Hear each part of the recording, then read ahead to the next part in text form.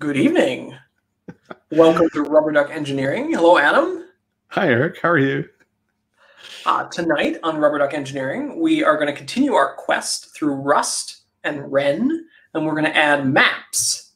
Uh, you know, like the dictionary things. Uh, not, not, like the things with borders between countries. Uh, yeah, no, no little dropping dots from your uh, panable, you know, whatever they call that view in Google Maps.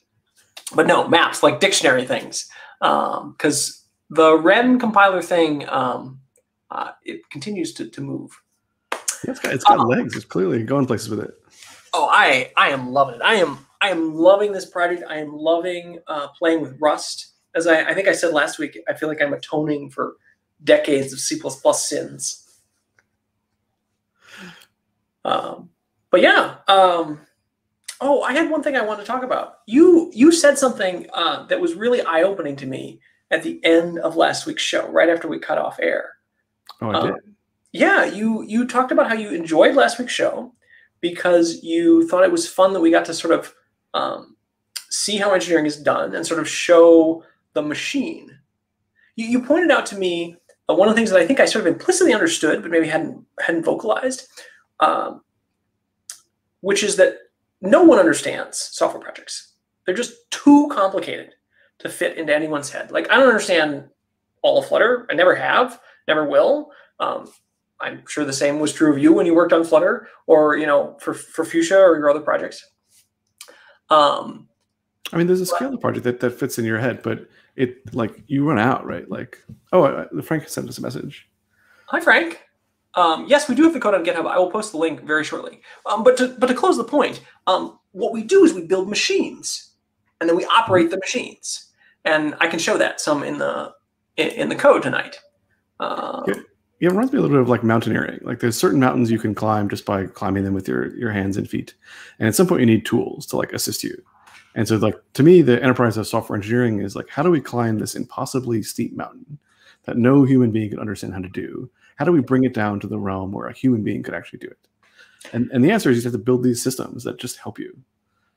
And I think this is the link uh, in case that, that we're going to be using from, and it should be live and up to date. Um, but one of the things I think this ties into the imposter syndrome that is just everywhere. Like, I mean, I feel it. I think I'm sure you felt it.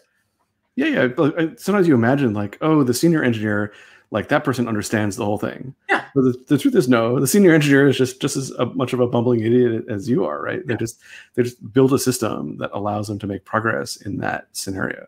Yeah. I mean, I, I can think of countless times where I've joined teams as a junior engineer. This is much earlier in my career, and like there was the senior engineer who like was the the TL. I don't know if we called it that then, but like, and uh, and now I just understand. No, they didn't have it all in their head. They just knew how to turn the crank on the machine.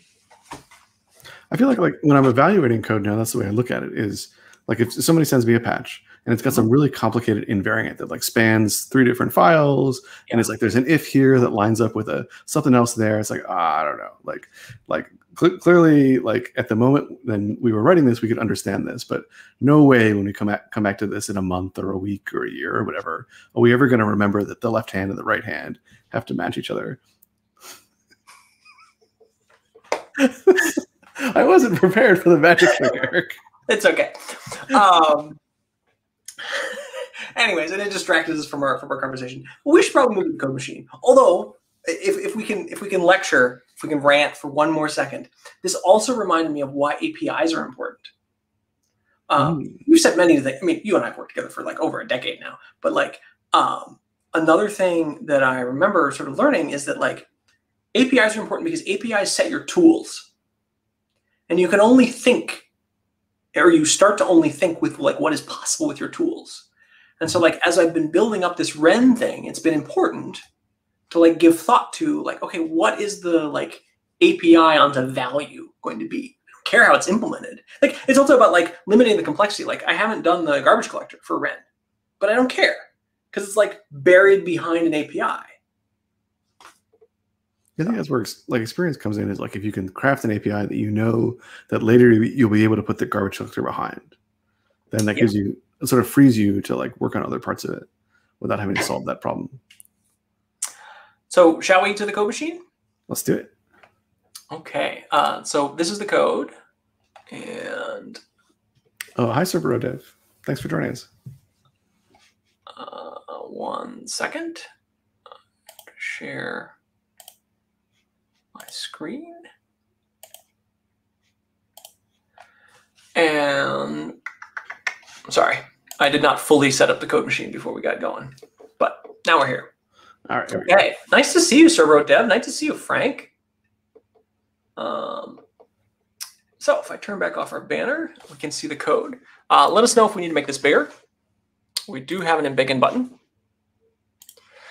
Um, so I should show you a little bit of what's going on. I think when we last left our heroes, we had what, maybe 100 tests working?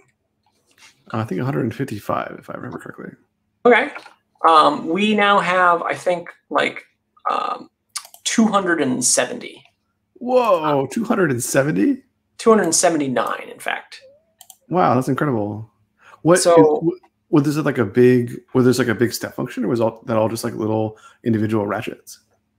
Um, so many of them came at, at times that you, the, the like finishing, whatever, like the finishing move in Mortal Kombat or whatever. It's like Finishing blow. the finishing blow. There was so much setup. Like all the hard patches are the, the so much setup, and then it's the victory lap things where you get like you do a one line change and you get ten patches. I think a lot of them come came because uh, our stub, our stub Wren core is a lot more real now.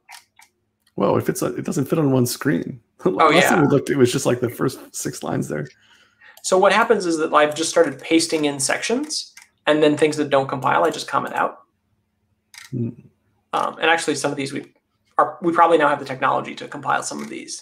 Um, and so like it has sequence, and sequence was a big, and then the fact that string and list and stuff now inherit from sequence. Sequence was necessary because I added lists. List was a big thing. I, if you recall, the number one error last time in our common error files was this.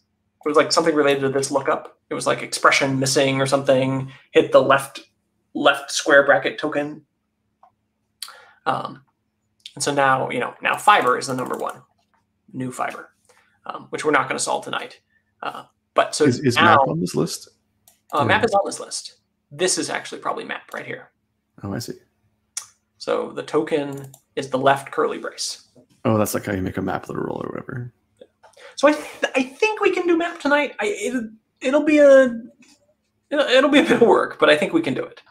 Um, so just before the show, um, in between dinner and the show, I managed to get um, fields working on. Um, I'm, I'm amazed you did all this without fields. Like to me, a field a field in a class is like such a basic part of a programming language. I'm amazed anything worked without it. well, the way you cheat is that all these primitives uh, do their actual storage. All their fields are actually in C code, Oh, I see. and so they don't only like custom fields or like fields for user defined classes. Correct. Uh, and user defined classes, I, I don't remember whether we had those last week, but I added those. Um, another thing that I added, speaking of the machine, um, compile.text,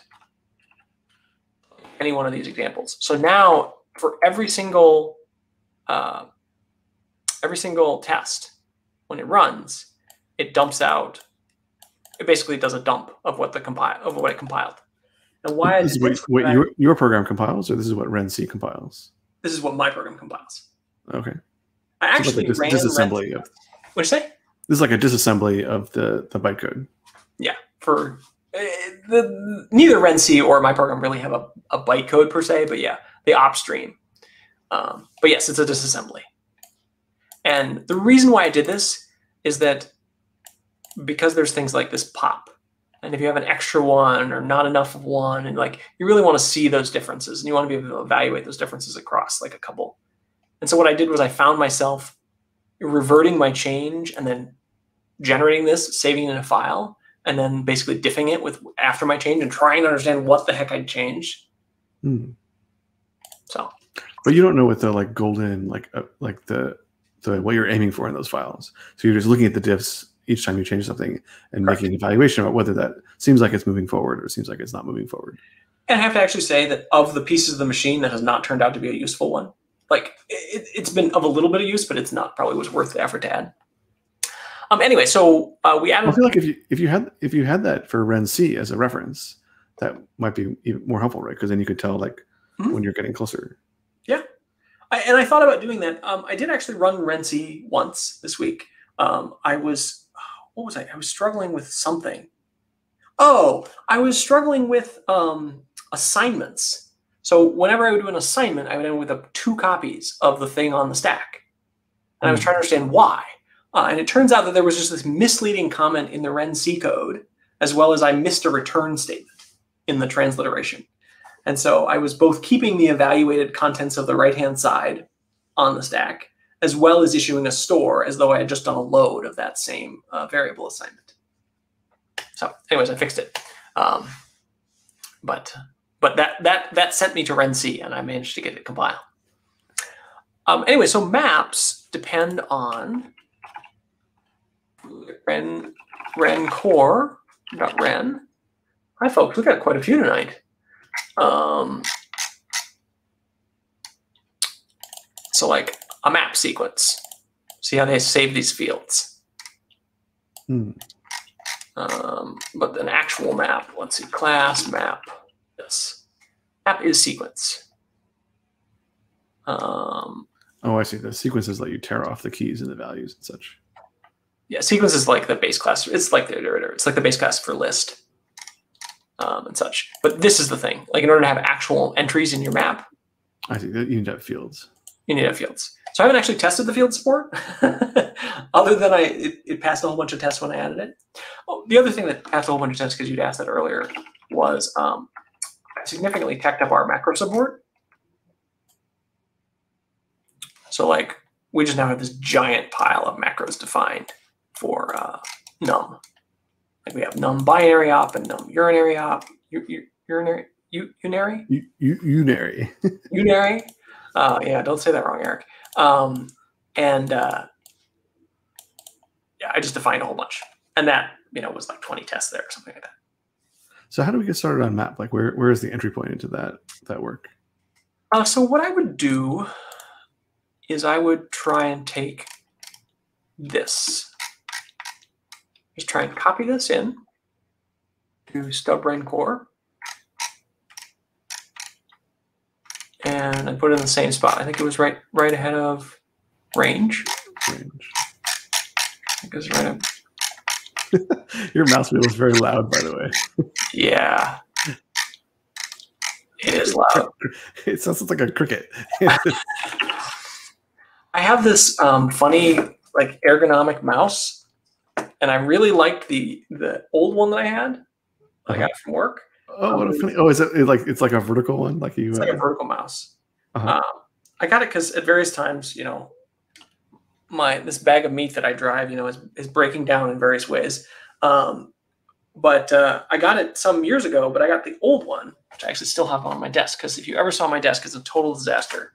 Um, but the old one was like breaking a little bit. That's not I even vertical. That old one. Like how, how could you use that? Oh, this one is vertical too. It's like the Oh, old one, same thing. But um, but the new one is worse. It's it's like it's like all the you know the people you know talking about back in the day they made things better. Yeah, well, back in the day this company made a better version of their mouse. Oh Uh, man, you've become a grumpy old man. I've become a grumpy old man. Um, so yeah, so you start by just splatting it in. Uh-huh. Um, and I have to find my terminal It's here. And then cargo. And you just pick a random thing. It doesn't matter which. And you look, you find 583. Hold on. Oh, sorry. That's where it is in the VM. What line? Line 300. I see. It's, it's like trying to eat the new code, and it's mad. Yeah, so the the difficulty one there's one of the difficulties with debugging the stub stubbrain core changes is that it's loaded up like secretly by the VM before Mhm. you ever really get so I have a bunch of code to like disable it printing anything at you. Um so and then you just comment out the failures. So like what is this? Oh yeah, one of the features that may actually block us from being able to do this is that I don't yet support um, forward declared classes. Oh, I see. So key map sequence is not declared yet because it's going to have a circular reference with map. Yeah. So we may. I'm actually not sure that it's. We actually probably could just move this up. Mhm. Expect we just we just literally do that. Yeah. So if we just move these three up. What did I do? Did I do it wrong? So this is not like how I want to stand up. Like I want to stand up with a perfect same copy. Mhm. That might just go that's error. I got a fast error. So now this entire thing now complies. Hmm. If we if we got to here, then um, then we got uh maybe. I think so. I think if we got here, then then it compiled. So then you just like rerun the test to see if this, or do we have to somehow wire up the syntax for a map to? Oh yeah, so this didn't this didn't wire up the like the map operator or anything, but I actually suspect that that splatting and there probably passed a bunch of tests for us. As I said, I, I never tried that um, because the, again, the hard work, the thing that I you know, you know, spend spend the long time doing is all these like routing patches. You you just it's like a cooking show, you know, when you come to Rubber Duck Engineering on Thursdays. In your in your other oven, you cook fields. You just take Correct. it out when it's. I mean, personally, I find it um, a little hard to do some of the like really deep coding that is necessary for this while I'm talking about it. But um, I know a lot of a lot of artists who who are on Twitch have a similar kind of feel where they have trouble like doing doing the, like the hard part of art while people are, are tuned in. so I think where were we before this? 250 or something like that? Um, I think it's at 279. Oh, well, then maybe we didn't pass any tests. Let's see. So it looks like we got rid of undeclared variables. Uh, we somehow tried to talk to a string instead of a class at some point. Of undeclared variables. And we don't have a new method on map. That might be the next thing to work out. But with map now existing, I suspect we can uh, do the thing like if we go to so, so we can see uh, so here's our change in the stub Wren core you see map new now compiles it doesn't run but it compiles and similarly map entry So these look like progressions. They're not all the way to pass, but at least they're. this one's a little concerning i was surprised that it would be trying to this would suggest i probably did field there's probably a bug with fields so we may not actually be able to get maps working tonight unless we fix it Class subclass do not inherit from built-in class map. Got none. Oh, this is the they're expected. Oh, interesting. And yet somehow this passed. Okay, that's fine. So yeah, this is progression. Um, add map to stub Wren core. Got right.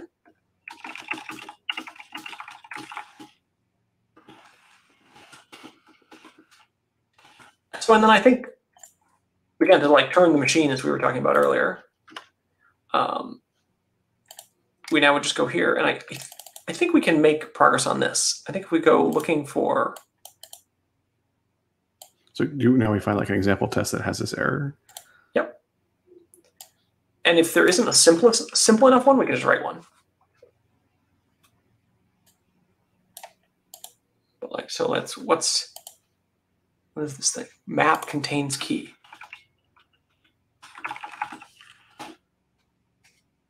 Okay, that makes sense. Uh, I don't know if that's the simplest one, but like we could go look and see what. Um, So the issue is that we can't parse the first line where it has the curly brace to create the map. yeah, so uh, Weird. we should just implement map literals. It's a bit of work, but like I think this is doable in in our time.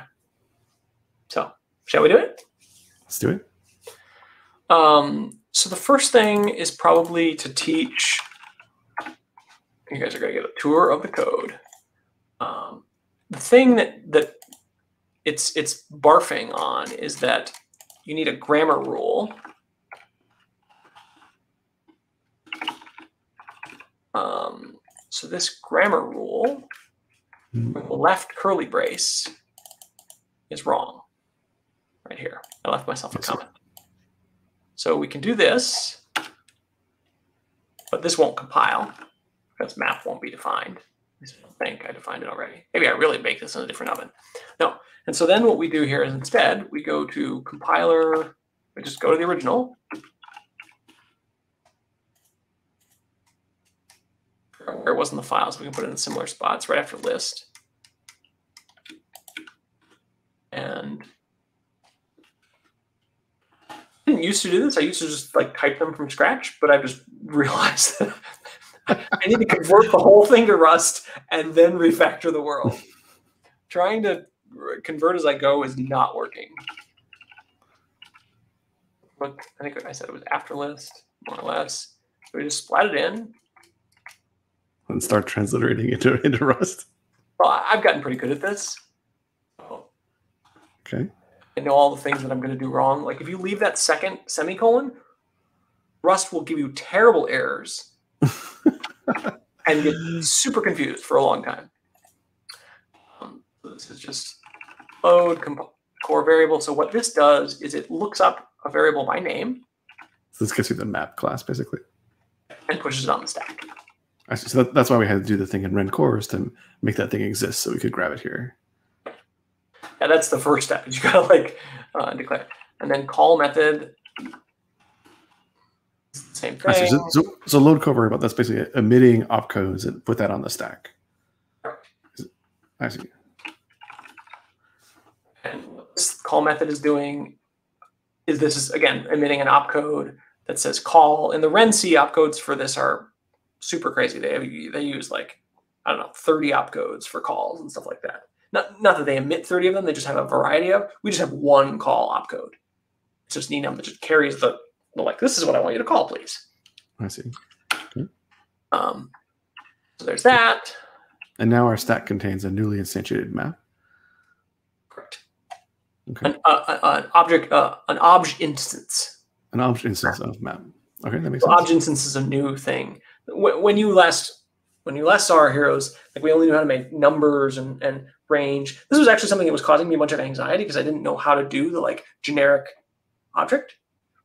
Mm-hmm. But it turns out generic objects are just a very specific, like from from C++ perspective, it's just like a a class with a vector of fields. Mm, I see. You just do this loop and ignore new lines. So now we're now we're moving through the syntax of the source file. It's sort of interesting how you intermix like manipulating the runtime stack in some sense, in some static way, and then also manipulating the syntax of the input file. Like like load yes. core variable is a thing that's going to happen at runtime, but ignore new lines is a thing that's happening sort of now at compile time. Yes. Well, that's one of the things you pointed out is that one of the weird things about Wren is that this Wren compiler, the one that we're transliterating, is that it um, it skips a bunch of steps in doing it's like, Right. So you're not like constructing an AST that you'll later walk to go generate the code from. You're just like generating the code as you're tokenizing. Correct. Which is kind of cool. Like it's it's neat that you can design a language that way. Um, so this is just oh, give, give, give asked a question here. Oh, what did you say? Hey folks, have you tried Google's Filament project? Be really great if Flutter integrates with Filament and provides first class first for 3D renderings. I looked into Filament uh, actually a little while ago. It looked really cool. Like some of the some of the like visual demos are like super impressive. Um, I actually tried um, downloading it and building it, and I got it to run. Um, but the demos on my machine didn't look good. I think I didn't have like a, I didn't have like the right graphics setup or something. But um, yeah, it's super cool.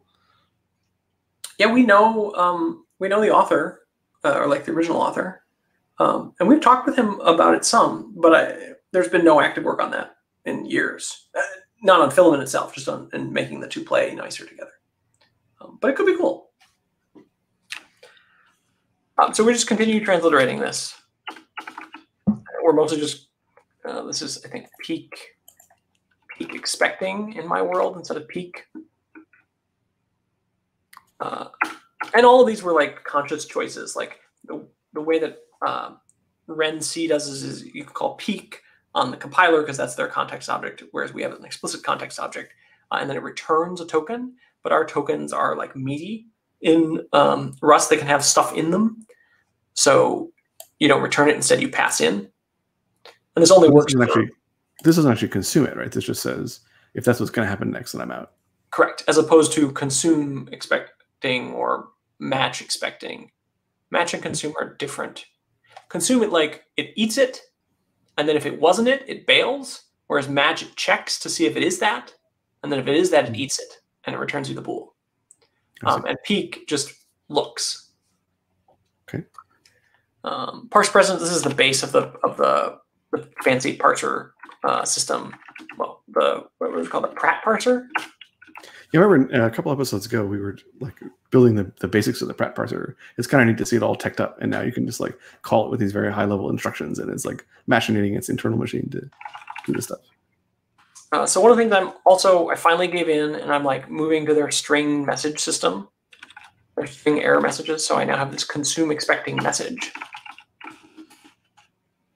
which will eventually replace consume expecting, but it just lets me splat out these error codes.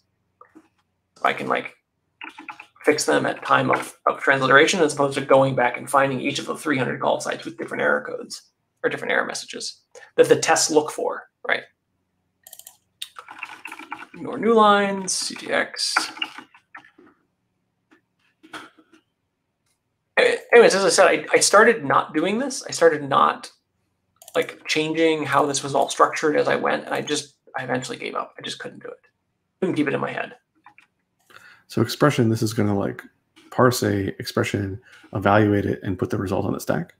That's correct. Okay. Uh, so another thing that the This Wren's is like it's like hybrid token, tokenization, eh, like code generation execution thing. is so it's neat. Like I, I I've never worked with a system like this. another thing that it does is the Renzi code has per op type, I think, an expectation of stack change.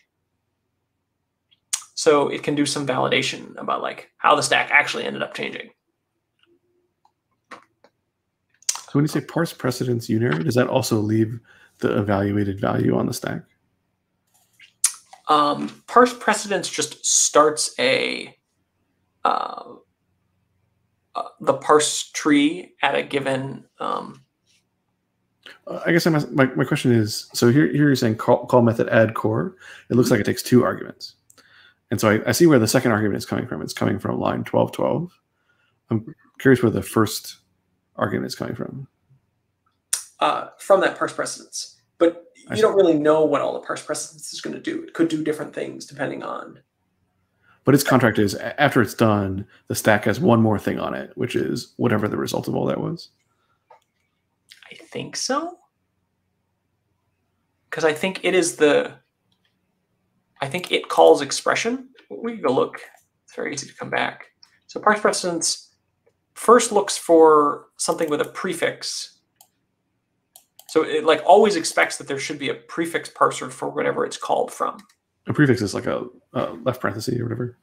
Uh, no, it's like it could be a name, but just like a token that by itself you you know what something to do with this specific token, as opposed to like an infix parser or something that's more complicated. It's like a way to anchor the parse. Parse. It's like okay, let's first look at all the things that we can think about from looking just from the left hand side. I see. And then once you have that anchor, you then go, oh, okay, what are the things that we can now anchor off of that?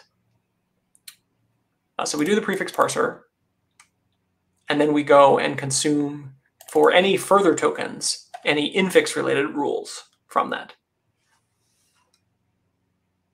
And these are all looked up. These are these grammar rules. This is the Pratt parser. It's, it's the base of the of the right. So And this is various- where we add, added this uh, the map thing. Yeah. So like for example, the prefix one is like if you see a left token, that's a that's a like a prefix rule. We're gonna like now start into the map mode. I see. Um, but whereas if you look at like the plus sign, uh, like this is an infix rock. If, if, if you just like are leading with a plus sign, we just don't know what to do. Like that's not a valid way to start an expression. I see. Okay. Another nice thing about a very very delicate dance to get all this stuff to like exactly work. Yes. And and that's why trying to change it on the fly was so Um, uh, that's correct. Romain Guy uh, wrote, uh, I, I believe, started the filament project. Or Roman. Did you correct my pronunciation? I, I, I think that's the correct way of pronouncing it. Maybe maybe I'm pronouncing it wrong. Uh, I suspect you're right. Um, I, I definitely don't think it's Romain. I've never heard him say it that way. Let's see. Um, so match is a keyword in Rust. This will also get you. Rust will see this, get super confused, but the syntax highlighter will be like, "Oh, that's a method. Yeah, totally, you're fine." it's like yellow, not purple. But like the compiler is like, I, you know, like. Um, so this actually needs to be match current.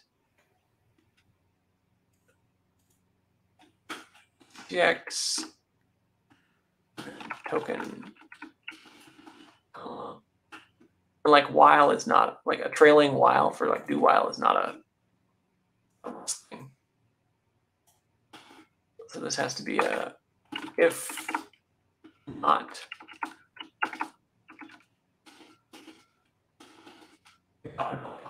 Sorry.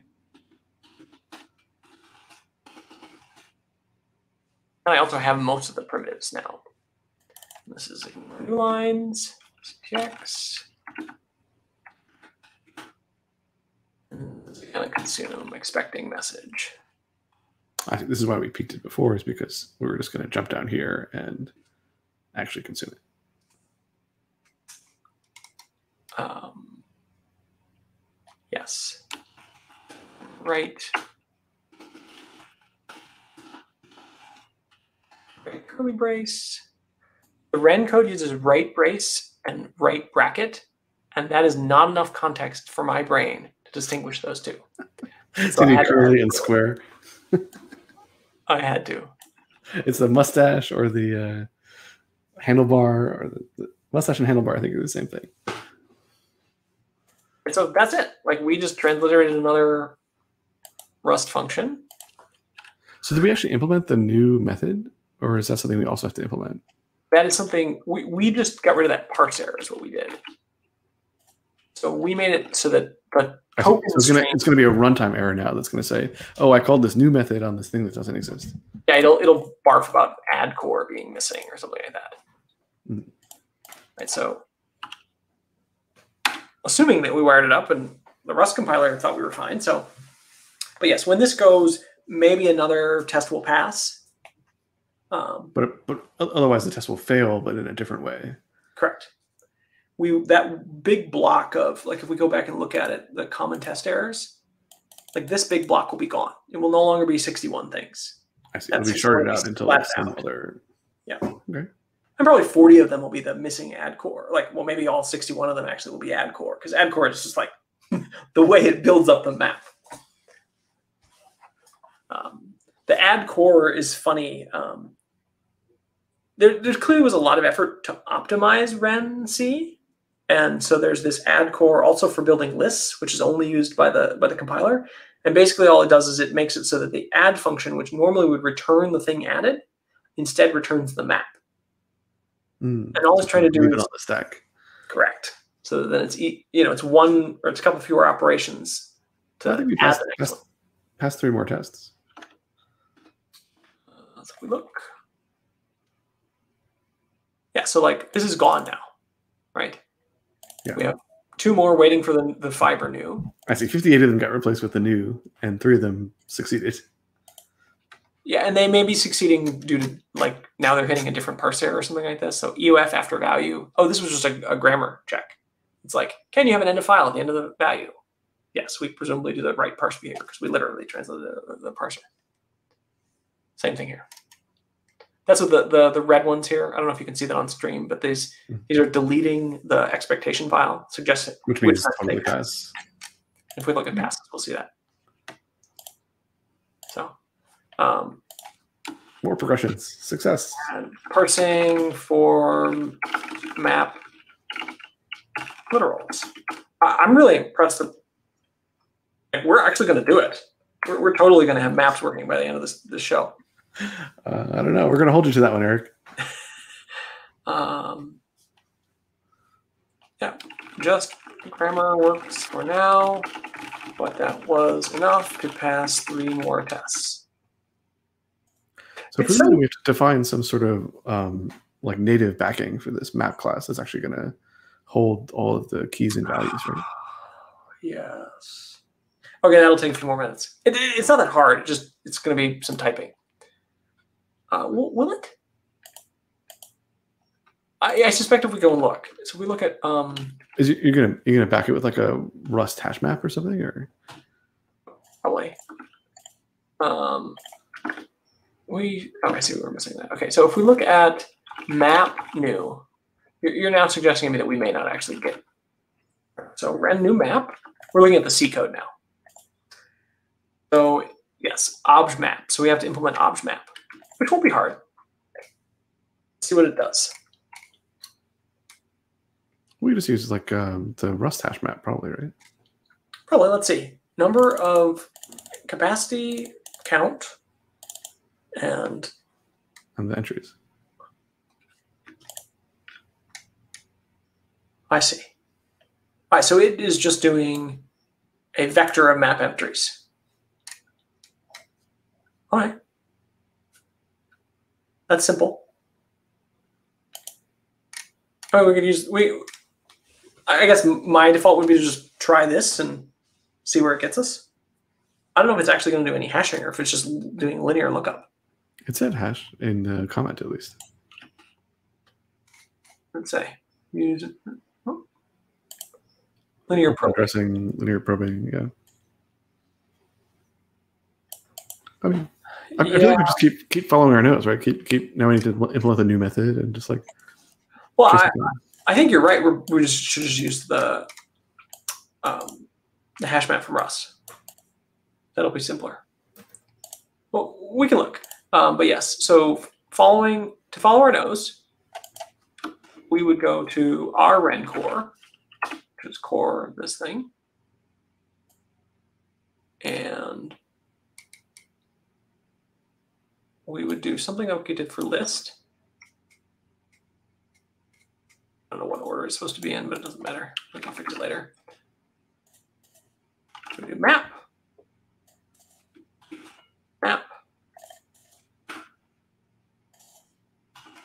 New. seems legit. Let's look at this new.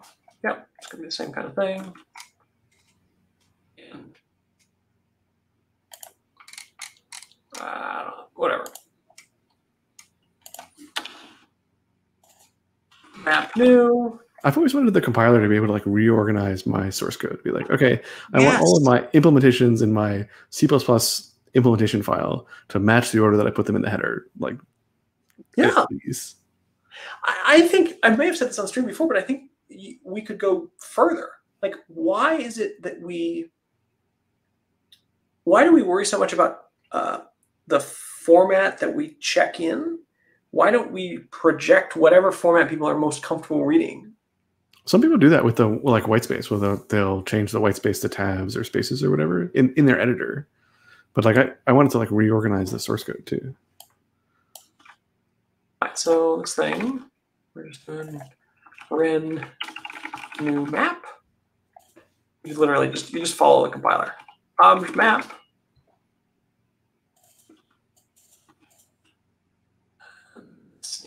Map.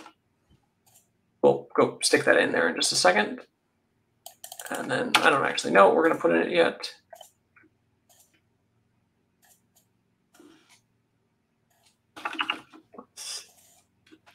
Map.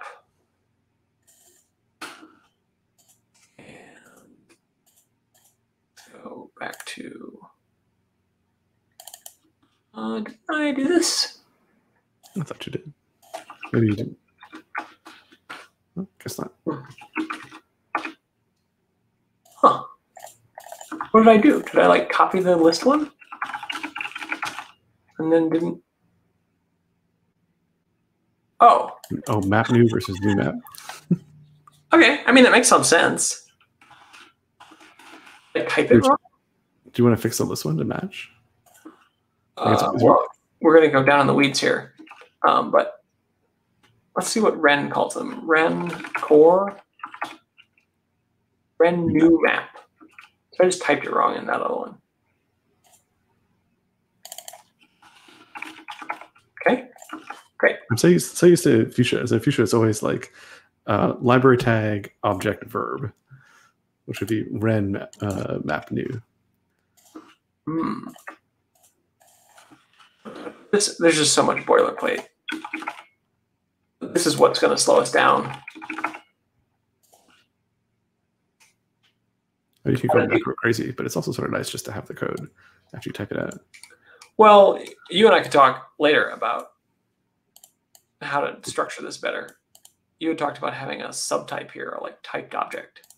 Yeah, get it like a trait or something. But uh, let's not. I don't think we get distracted with that here. We're not gonna do that now. Um, click on this.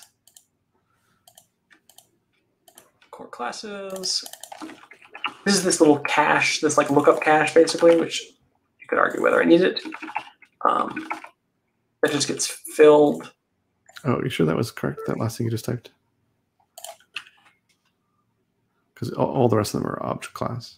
Oh, I did this one. I did the list one too.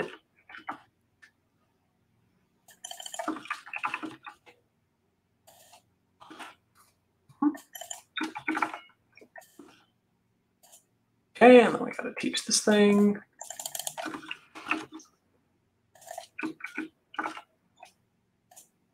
So there is an object trait, by the way. Object is a trait. That's how we get the class off of it. But that's all we you do. just but you've exploded all these into different um, value enum elements. right here. This is the like one place that we use. The oh no, uh, we don't even uh, yeah because this is uh, this could get cleaned up, but that's like either a whole episode or like you and I need to talk offline. Um, so here's this trait. I see. You have to implement this trait for the map. Trait um for list right here.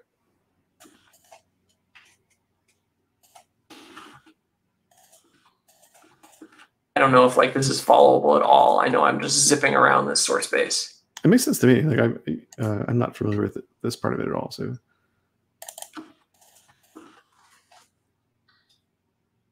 I think what we do did will compile and actually probably make some tests pass, but like the resulting thing. well, I think we should keep going. Like we need, to put some kind of data structure inside of the. We can also checkpoint here. Hmm. Um, but yes, we do need to like like Like, change change the errors that get produced. Nothing else.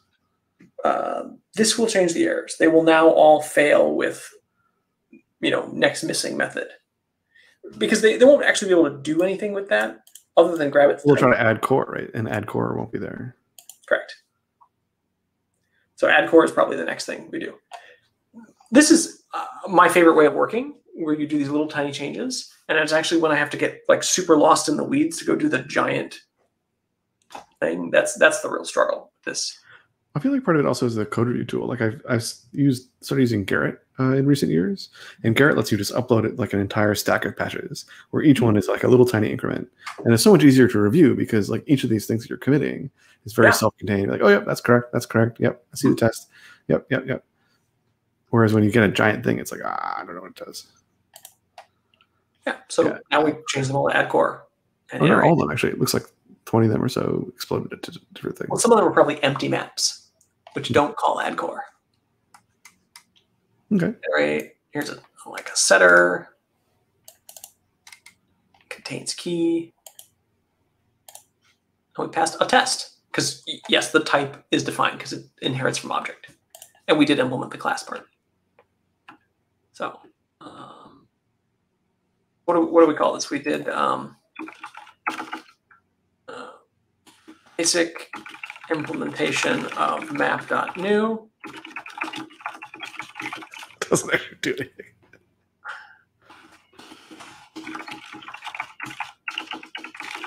Giphy is trying to throw you off course by uh, by asking about your Raspberry Pi, but I, I think we'll hold that to the end of the episode. Um,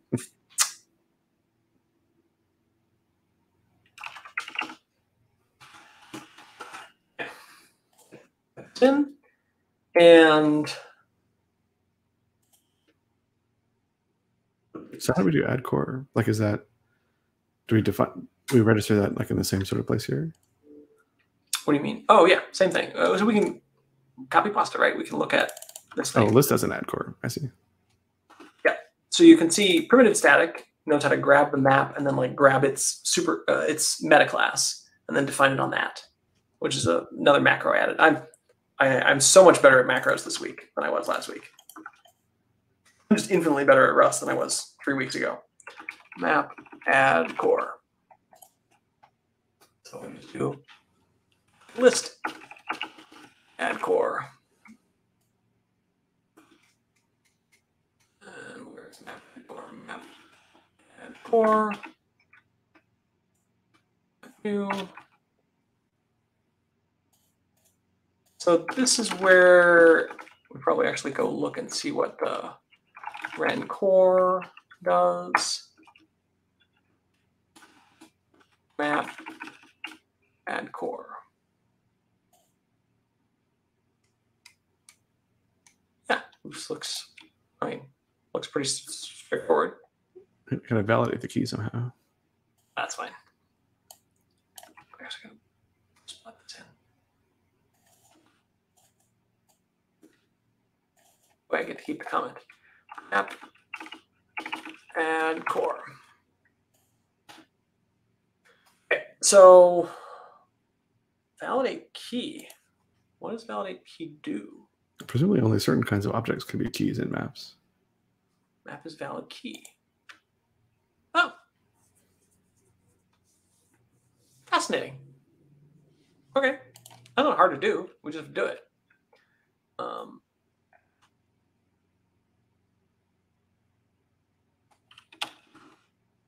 that in. I think you're you may be sensing a pattern.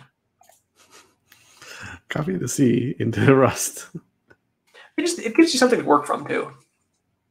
All right, so this is you don't always actually make them. So we don't have these like is bool stuff.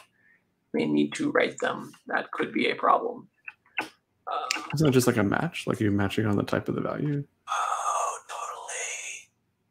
Oh. I love it. And you're you're sensing how I love Rust. Well, I feel like match is like the core of Rust. Like they clearly designed the whole system around making match amazing because match does like everything. Like Oh, and it's so much more powerful than like either you or I. I know. I, I feel like I, every time I touch a, map, a match, I learn some new crazy trick you can do with it. And like I seen in some code review where I had like a match and an if. They're like, no, no, no, you can put the if inside your match. And I was like, really? And it worked. I was like, oh, okay, that's kind of awesome. And a little scary. I mean, it, it ended up reading nicely. Like it was like match this if that. Like Oh yeah, the matches are beautiful.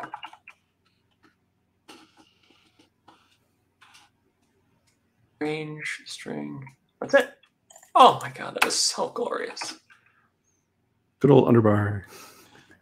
Gotta love underbar. Okay. More commas. We demand the Vespian commas. So the analyzer or whatever does like add and remove commas sometimes for you, but clearly not those ones. Also, um, it's very rusty to not ever write return. Oh yeah, they, they, they beat that out of me in code review too. They're like, okay, just end your function with the value. It'll be cool. And I'm like, but I have to squint and see if it has a semicolon or not. Whatever. Validate key. This is bool.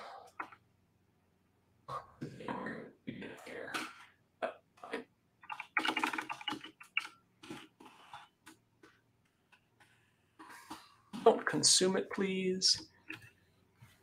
I want to attribute. What say? I can edit. I'm gonna edit from my screen just to mess you up. Oh, do it! I I'm mean, doing the party. And we did it. We Oh. did it, oh. team.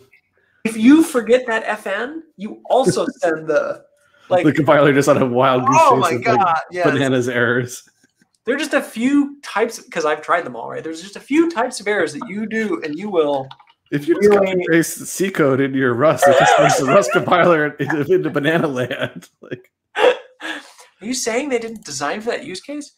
When map is valid key, do you you use gotta the have the same wren- case. do you use the prefixes or a lot, or do you? Hmm? Like I'm curious about the like wren underscore prefix. Like,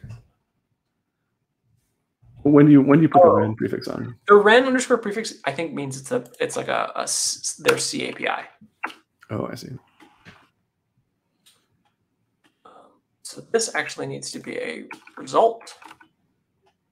Cool. And this needs to then be. See, this is like where they beat the the, the return. Beat, beat the returns out of you. So I don't have a like generic runtime error, but I, I should. I should just do runtime error generic. I don't need to add my 85th runtime error type.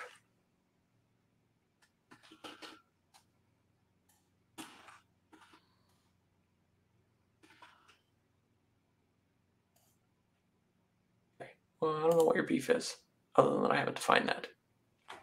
I need to borrow this arg. No problem. Boom. I, I'm gonna go define this thing.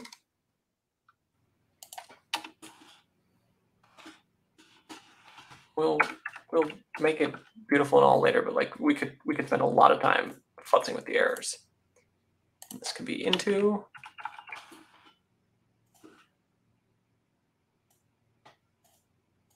Okay.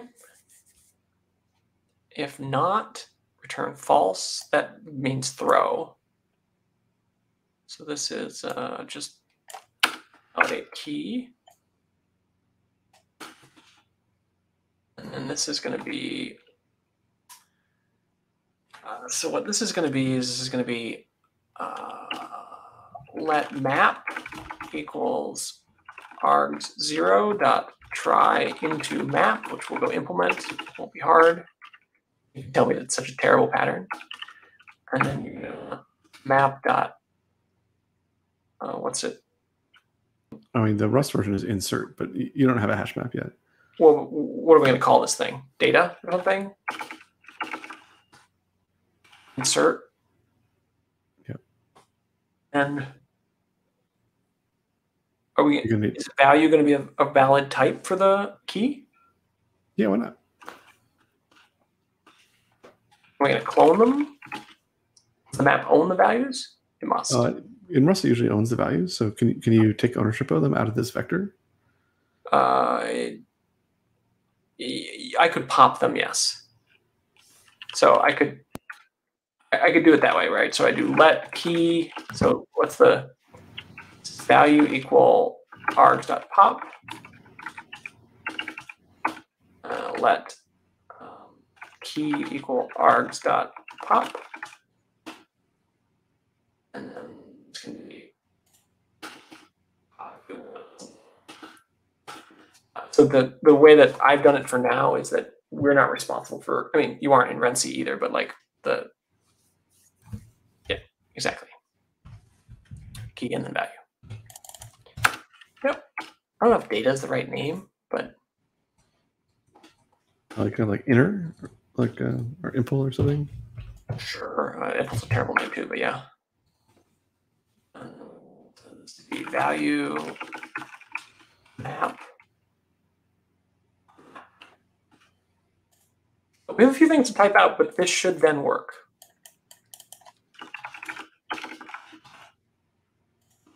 I don't know if those at home are following along or if we're like in the crazy weeds. Uh, maybe it's uh, maybe you don't need to pass the VM to validate key. Different mutability. Oh, really? Oh. You don't need a mutable uh, VM over here. Oh, yeah, I guess we, it's not mutable. I just thought we were passing around as mutable. I guess not. All right, so try into map. This is going to be in VM.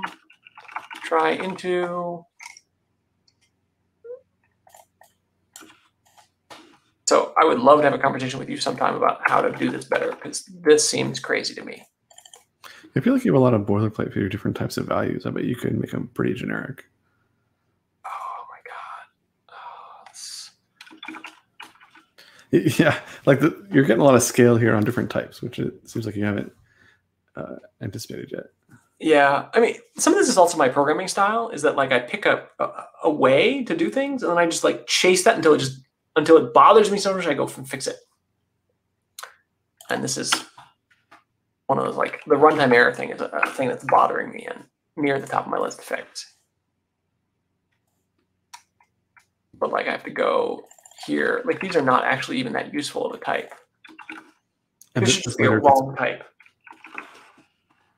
Is the purpose of this later gets us like a fancy stringification. It doesn't get a fancy stringification. Like I, yeah, I was just trying to be rusty when I did it, and Yeah, this is another part of Rust I don't fully understand. Is a lot of libraries I use have very elaborate error types, and I don't know. At least the Rust program that I'm I'm writing doesn't really want that. It just wants like an enum for like, you know, you got error negative twelve. hash mm-hmm. Map. Mhm. Value, value.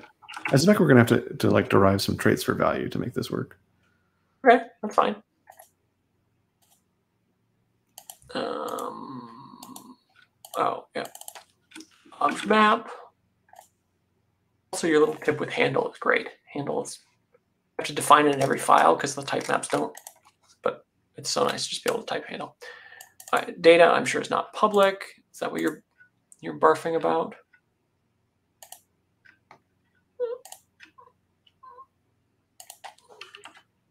Uh, pub crate.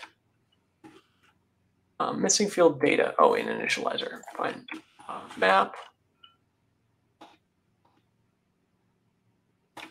This thing.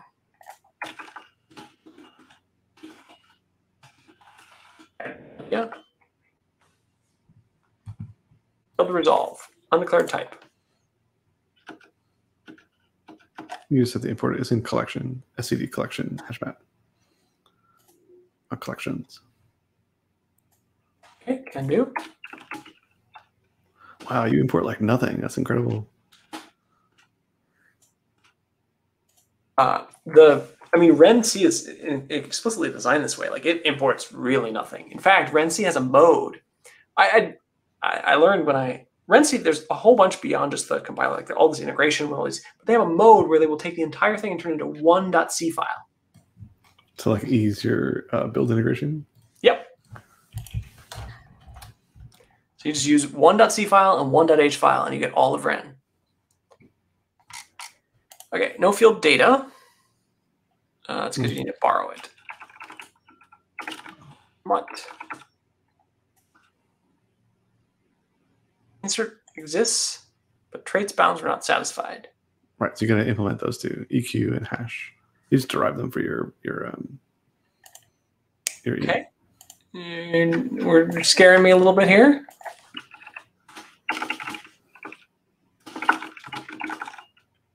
You, you also need partial EQ because that's how EQ rolls.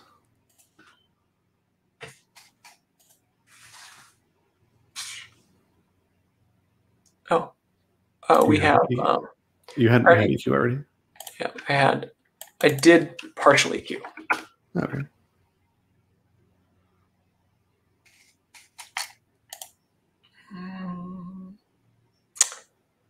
Um,